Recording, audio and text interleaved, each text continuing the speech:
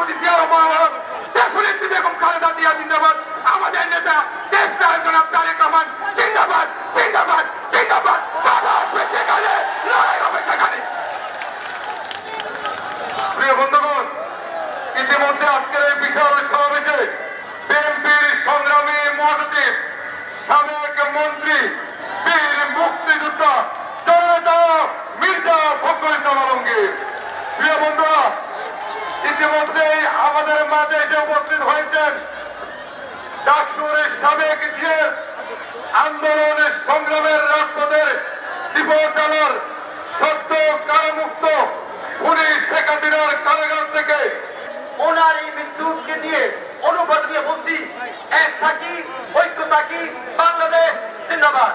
বিএনপির কর্মকাণ্ড, দলীয় নেতা কর্মীদের সমর্থন আল্লাহর অশেষ মেহরবানিতে কিছুক্ষণ আগে আমি খায়রুজ্জামের খোকন এবং রবিউল এই কারাগার থেকে মুক্ত হয়েছি। ডিসেম্বরে এইখানে হানা দিয়ে তস্করের মতো আমাদেরকে বন্দী করা হয়েছিল। পরবর্তীতে কোন ধরনের মামলা ছাড়া গ্রেফতার করা হয়েছিল। বিএনপির মহাসচিব মির্জা ইসলাম আলমগীর এবং স্থায়ী কমিটির সদস্য জনাব মির্জা আব্বাস সহ নেতৃত্বকে এখনও কারারুদ্ধ রয়েছেন। আমাদের দলের প্রচুর নেতা কর্মী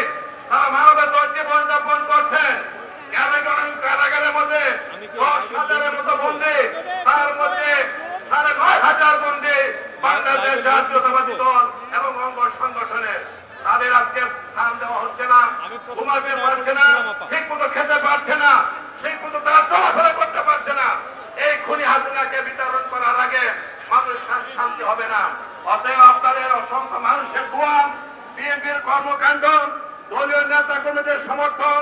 আল্লাহর অশেষ মেহরবানিতে কিছুক্ষণ আগে আমি খায়রুজ্জামের খোকন এবং রবিউল এই কারাগার থেকে মুক্ত হয়েছি। অতএব তাদেরকে মুক্ত করে আনতে হবে। সেই জন্য লড়াই সংগ্রামকে সাহিত্য করতে হবে। খুনি হাসিনাকে এই বাংলা জমির থেকে উৎখাত করতে হবে এবং গণতন্ত্র প্রতিষ্ঠা করতে হবে। মনে রাখতে হবে, যত নির্যাতন আসুক, যত অত্যাচার আসুক, কোন কিছুকে আমরা তোয়াক্কা করি না।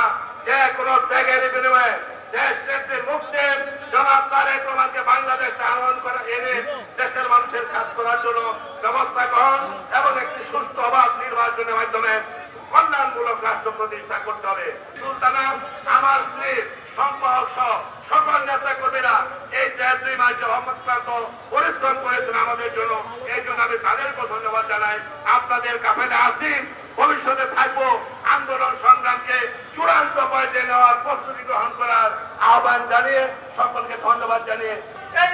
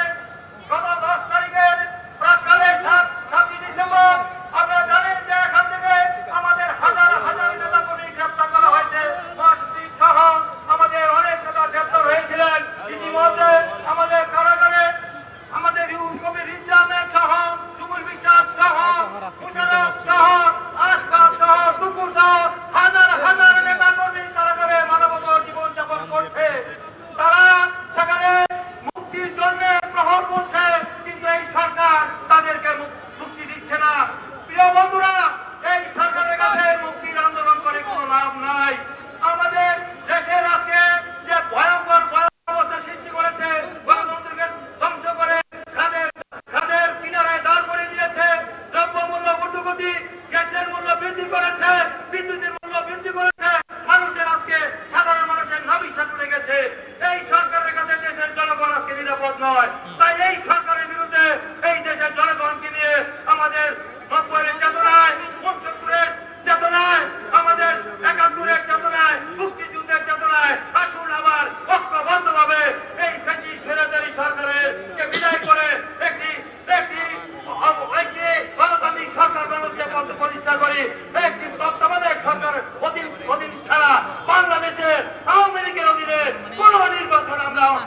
মাটিতে করতে দিব না।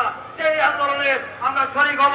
সেই শরিক হয়ে যতদিন পর্যন্ত না সেই অবৈধ সরকারের পতন না হবে ততদিন পর্যন্ত আমরা আন্দোলন থেকে রাষ্ট্র থেকে করে ফিরে যাব না এবং এই সরকারের পতন এখন সময়ের সময়ের ব্যাপার মাত্র।